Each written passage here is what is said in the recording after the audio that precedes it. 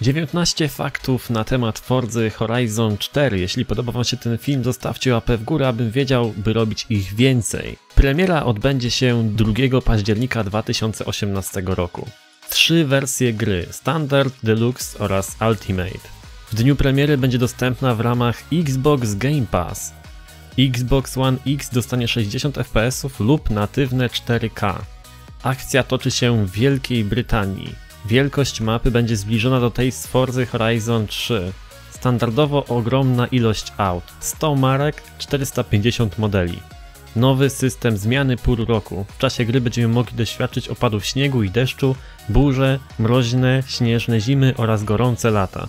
Wszystko ma się zmieniać dynamicznie podczas np. wyścigu. Cholerny ruch lewostronny i popsute kierownice. Będzie można tworzyć swoje trasy z możliwością wybrania pory roku dla konkretnego wyścigu pojawi się specjalny tuning driftowy. Będzie można ubrać swojego kierowcę. Pojawi się szybki czat bez potrzeby pisania.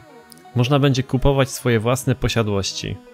Ponownie w grze pojawi się kooperacja w kampanii. Na jednej sesji znaleźć się może 72 graczy z opcją automatycznego przenikania, by uniknąć natarczywych graczy psujących rozgrywkę. Do 12 graczy na jednym wyścigu lub wydarzeniu możliwość grania na PC oraz Xbox One używając tego samego save'a. Preorder można nabyć od 11 czerwca 2018 roku. Wpadnijcie na mojego Instagrama, gdzie głosujemy na najlepsze, najfajniejsze samochody.